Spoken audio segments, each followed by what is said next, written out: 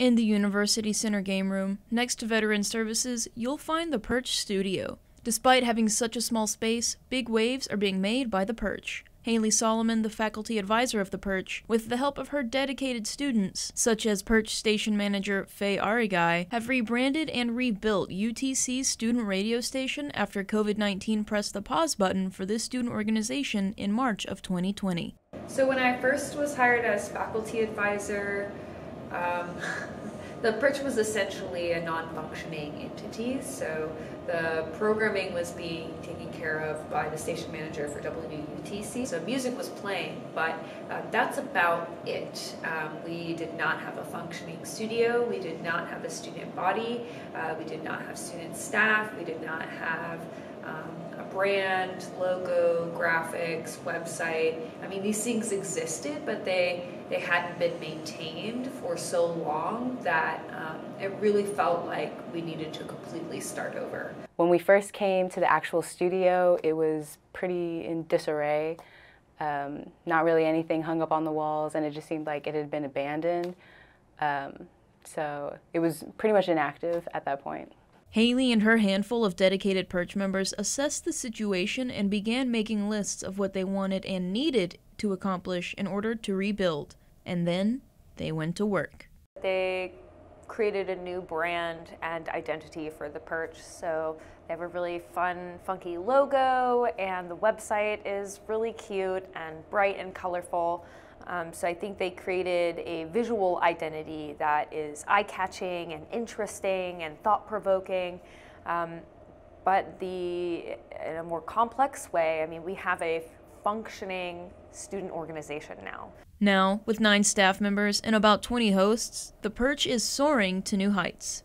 On October 27th, they held their first event, and it was a big win for the team.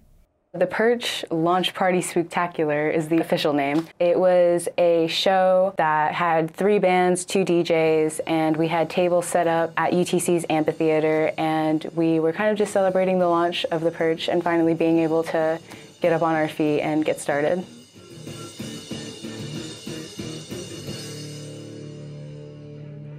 It was a total success. I was really proud of the students' efforts and um, how they executed the event. With the first successful event under their belt, the Perchlings are hungry for bigger and better events and are aiming to be more widely known among the student body and UTC campus community. So we have three pillars of, of, growth or goals that we are trying to achieve. The first is brand awareness. So we want to be able to be anywhere on campus and say the perch and not have to immediately say what it is. So every time we seem to talk about it with students, we immediately get the follow-up question of what is the perch? Um, I've never heard of this. uh, and so we're really trying to work on brand awareness.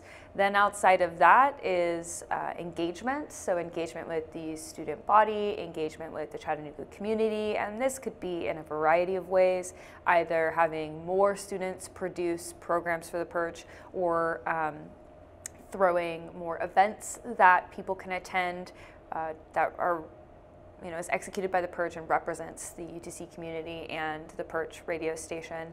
And then having a business development where we become essentially a functioning radio station by having paid advertisement. So we're hoping to get into that, be able to sponsor ourselves from year to year with the money we make in advertisements so that um, you know one of my long-term goals is to take all of the student staff to public radio conferences.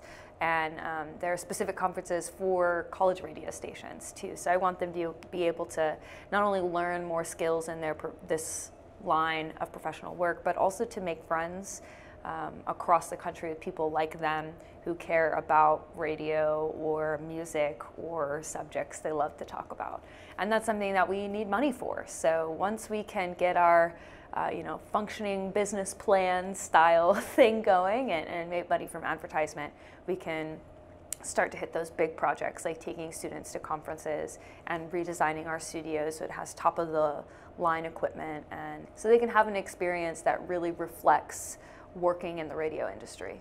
To stream their shows, learn more about who they are and what they do, or to get involved, check out their website at utcperch.com and follow them on Instagram at theperchutc.